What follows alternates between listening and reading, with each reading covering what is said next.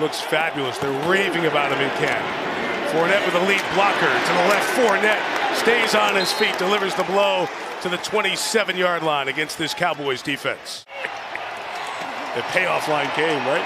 Fournette, good space. Fournette down the 25-yard line. Micah Parsons had to come get him against Tennessee, the last preseason game, one drive. Hands here to Leonard Fournette, who takes it out to the 45-yard line. And Brady swings it out to Fournette. The open field, Trevon Diggs went down to try to take him low, and Fournette just scooted past him. Third and two, Cowboys have come up with a few stops. Fournette on the edge. Great block from Smith. Vander Esch is waiting, but too late. First down. He came to the sideline right away. So no Godwin for the second half. Mike Evans is in. Leonard Fournette is in the secondary.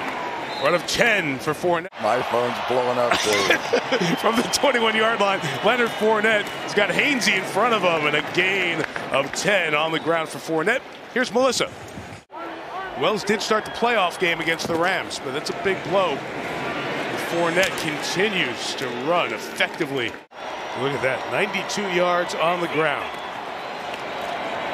Keep at it. Big opening Fournette into the secondary to the 42-yard line.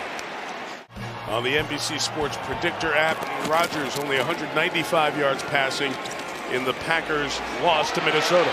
Fournette, good first down run for Leonard, who has really dominated running to the left side here tonight.